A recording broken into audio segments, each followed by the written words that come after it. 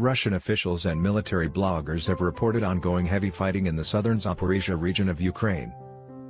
Ukrainian troops, supported by tanks, artillery, and drones, are reportedly attempting to advance south of the town of Orikhiv for the second consecutive night. A senior Ukrainian defense official referred to the enemy's actions as active defense. Numerous military experts have highlighted Zaporizhzhia as the focal point of Ukraine's highly anticipated counteroffensive.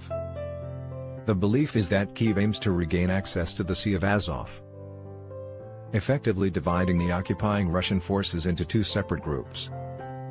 This strategic move would significantly weaken the combat capabilities of the Russian forces in the region.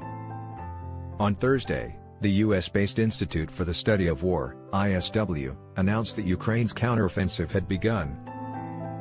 Although Kyiv has remained tight-lipped about the matter.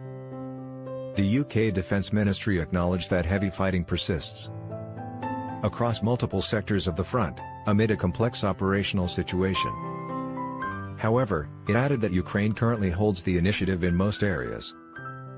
Following President Vladimir Putin's order for a full-scale invasion in February 2022, Russia seized control of most of the Zaporizhzhia region, including Europe's largest nuclear power plant. The regional capital, Zaporizhzhia city, remains under Ukrainian control. Late on Thursday, several Russian pro-Kremlin military bloggers reported that Ukraine had resumed its attacks overnight. They claimed that armored personnel carriers and drones directing artillery fire were deployed. Vladimir Rogov, a Russian-installed local official, confirmed active fighting between Orikhiv and Tokmak, with Russian troops maintaining their positions. The town of Tokmak is considered a crucial target for Ukraine as it aims to advance toward the Sea of Azov. Russian Defense Minister Sergei Shoigu stated that the previously reported Ukrainian assault had been repelled, causing harm to the enemy. However, no evidence was provided to support his claim.